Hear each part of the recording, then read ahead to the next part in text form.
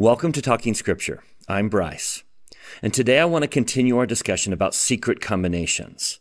In our last video, we talked about that they have mastered a secret, that they know a secret. Satan has a secret, and he shares it with anyone that follows him. And that secret is how to turn life into money, how to control, rob, and murder, because they have mastered that secret. But I do want to come back to that they do things in secret. Clearly, secret combinations operate in secret. And there's the problem. How do you combat, combat an organization that is operating in secret? I remind you that Mormon wrote in Helaman about Kishkumen and his band. In Helaman chapter 1, after Kishkumen escapes, he gathers his forces and they enter into a covenant, swearing by their everlasting maker that they would tell no man that Kishkumen had murdered Pahoran. So they keep a secret. We've seen that they've mastered a secret. Now they keep a secret. And then notice in verse 12, they did mingle themselves among the people. So we see that they operate in secret. So, how do we combat an enemy who keeps everything secret and operates in secret? They mingle among us. They're all around us, and we don't know who they are because they keep it a secret. They operate in secret. So, today I want to share with you one of the great aha moments of my study of Helaman. I should probably tell you that story. I remember vividly when it dawned on me that Helaman was a pattern of our day. When 3rd Nephi, as I started to see the coming of Christ to America, is almost an exact duplicate of what's going to happen at his second coming to the world, that his first coming was a pattern of his second coming. And then I remember vividly that the Spirit impressed me powerfully that one of the things that is implied in that is that the days before his coming, in other words, the book of Helaman, is a pattern of our day. We're living in the days of Helaman. And one of the very best ways to understand how to navigate the latter days prior to the second coming is to study Helaman. I remember vividly when that hit me like a ton of bricks. I became obsessed with the book of Helaman. I couldn't think of anything else. I was so driven to understand that book like I never have before. I read it 17 times in two months. In fact, one time I read it backwards.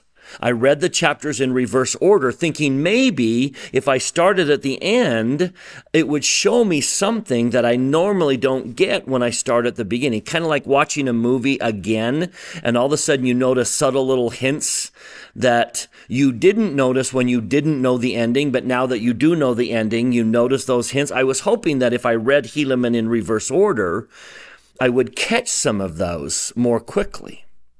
But I was obsessed with the book of Helaman. I read it so much and thought about it so much. And then in the middle of that obsession, one of the biggest aha moments I've ever had was when I realized the answer to that question. How do you combat an enemy that operates in secret? Let me show you what I saw. If you have been a student of the Book of Mormon for a while, you know about how long it takes Mormon to write a story. You kind of have an, an expectation. I know how long Mormon takes to tell a particular story. Most of his stories are about the length of a modern day chapter. Now, I know that that's not how we started. The Book of Mormon didn't have the same chaptering, but still, the Mormon stories are about the length of a chapter. Even those war chapters, that's not one long story. Those are several smaller stories that take about a chapter. For example, how Amalickiah becomes king of the Lamanites, uh, the, the first battle at Noah, or the conflict between Lehi and Morianton, or the kingmen or the story of the stripling warriors coming forward to preserve the covenant that their fathers made, or the battle that included the stripling warriors running in front of the city, the letter to Pahoran. All of those stories within the war chapters take about a chapter. So you kind of get a feel for how Mormon tells a story. So I'm reading the middle of Helaman, and all of a sudden I realize this is a really long story. Let me, let me show you. Here are the chapters of Helaman. This is just my gospel library, and here are the 16 chapters of Helaman. Right in the middle of the book of Helaman is a story that takes three chapters to tell. Chapters 7, 8, and 9 of Helaman are really one very long story. Helaman tells it in greater detail than normal. It's the story of Nephi praying in his garden. The people gather. He kind of chides with them. He says, Go, you know, it's already at your doors. Uh, your chief judge is dead. Send someone and you'll see that the chief judge is dead. So then they run and they find Seezoram, the chief judge, lying dead, just like Nephi predicted. So then they conclude that Nephi had something to do with it. So they come, Nephi, you're a Confederate. Tell us what happened. Confess. Nephi says, Oh, you fools. Go to the house of Seantum, the brother of Seezoram. Ask him if I, Nephi, the pretended prophet, had anything to do with this. He'll say no. Ask him if he killed his brother. He'll say no.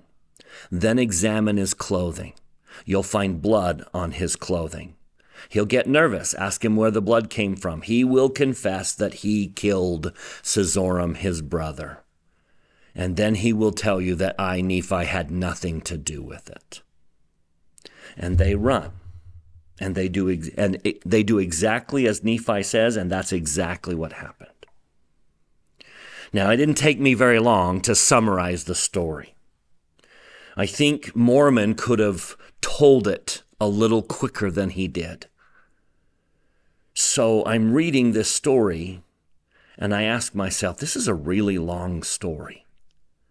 Why is Mormon taking so long to tell this story? And then it dawns on me. The story is the answer. It's not what Nephi said. It's not what happened. It's the story that's the answer. Prophets see through the secrets. That's the point of the story. And the fact that it, to me, the fact that Mormon took so long to tell that story, right in the, in the book of Helaman, that is so critical. The real estate in Helaman is critical because it's a commentary on our day. Why would Mormon take three chapters to tell that story if he's not waving his arms saying, do you understand the solution? The way you combat an enemy that is hiding in secret, the way you combat all of the secrets is to have a seer who sees through the secrets. That was one of the great insights of my life. Just the power of this outflowing, this aha, powerful flowing moment where the Lord just said, Bryce, everything's going to be fine. You have prophets, seers, and revelators who see through the secrets. And they'll let you know. I thought instantly about that conversation that Ammon had with Limhi. Do you remember when Ammon was sent to find Limhi? And Limhi asks him, hey, you know, we've got these 24 gold plates, but they're written in a language that no one knows. Is there anyone back in Zarahemla who can translate? And Ammon says, yes. Most assured. In fact, let's read it. Mosiah chapter 8, verse 13 Ammon said unto him, I can assuredly tell thee, O king, of a man who can translate the records. For he has wherewith he can look and translate all records that are of ancient date. And it is a gift from God, and the things are called interpreters. Then he says at the very end of that verse that whosoever is commanded to look in them, the same is called a seer. We have a seer back in Zarahemla. He can see. Limhi says, a seer must, is greater than a prophet. Ammon says, no, king, a seer is a prophet. A seer is a revelator and a prophet also. And we sustain the first presidency in the Quorum of the Twelve as prophets, seers, and revelators. And then Ammon tells Limhi what seers can see. And I love this list. He starts with an interesting one. Notice in verse 17, but seers can know of things that are past. And over the course of the restoration, we have had prophets, seers, and revelators who, on occasion, saw something very significant in the past, and also things which are to come. I think that one is blown out of proportion by the world. When I talk to non-members, especially kind of critical non-members about the fact that the you know the restoration of the gospel, they always kind of mockingly say, "Well, what has your prophet predicted?" What has your prophet seen in the future? And that's kind of the image they have in their, their mind that prophets predict the future. And I acknowledge that, yes, they see things to come. But notice the rest of this verse. And I remind you that the Lord emphasizes by repetition. Watch what he's emphasizing about what prophets see. And by them shall things be revealed, or rather, shall secret things be made manifest. Notice the repetition. And hidden things shall come to light. So prophets see secret things and hidden things, and things which are not known. Prophets see what isn't known. In fact, I love the last one prophets see what otherwise could not be known. Now, that's a magnificent list. And I wish we could just shout that from the rooftops. Prophets, seers, and revelators see secret things, hidden things, things which aren't known, and things which can't be known. Do you remember in Abraham chapter 3 where Abraham was shown the cosmos? He was taken on a tour and shown the universe. He saw Kolob, the star closest to Heavenly Father's residence. Now, there is no physical way that anyone on this planet could go see Kolob, but Abraham saw Kolob. He saw what cannot be known. Prophets see what isn't known, secret things, hidden things, things which no man knows. That is the great truth. We don't need to be afraid of any secret as long as we have someone who can see through the secrets. Now, all of this is because the Lord sees through the secrets. And he's the one that warns. He's the one that says, you need to leave New York.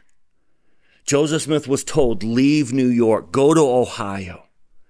And then later he was told, Doctrine and Covenants 38, verse 13, Now I show unto you a mystery, a thing which is had in secret chambers, to bring to pass even your destruction in process of time, and ye knew it not.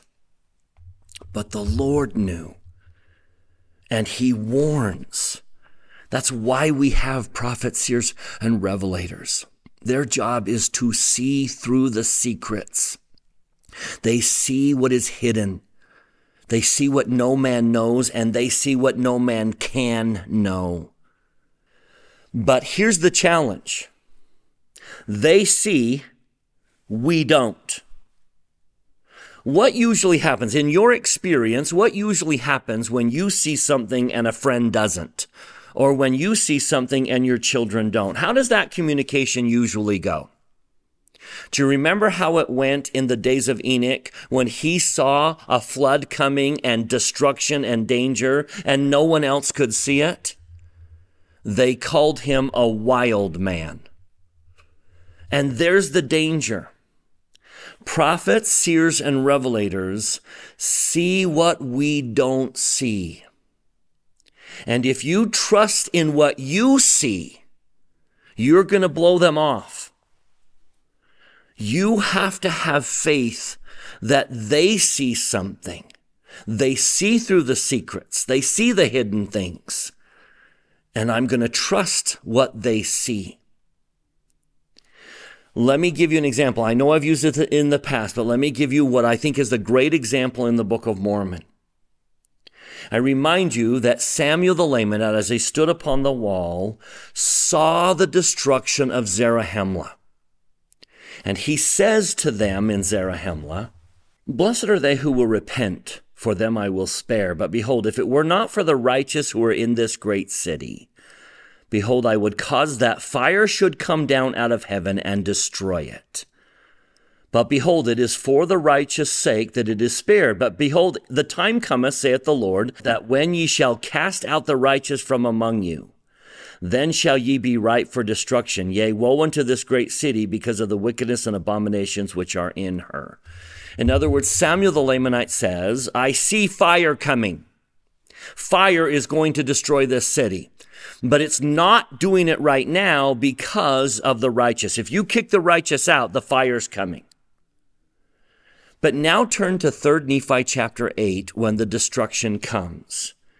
In verse 8, the city of Zarahemla did take fire, just like Samuel the Lamanite saw. So, what happened to the righteous? Were they cast out? Did they leave on their own? The prophecy was fulfilled. If the righteous go, this city's going to burn. And that city burned. So, what happened to the righteous? Well, we get a hint two chapters later in chapter 10. 3 Nephi 10, verse 12. It was the more righteous part of the people who were saved.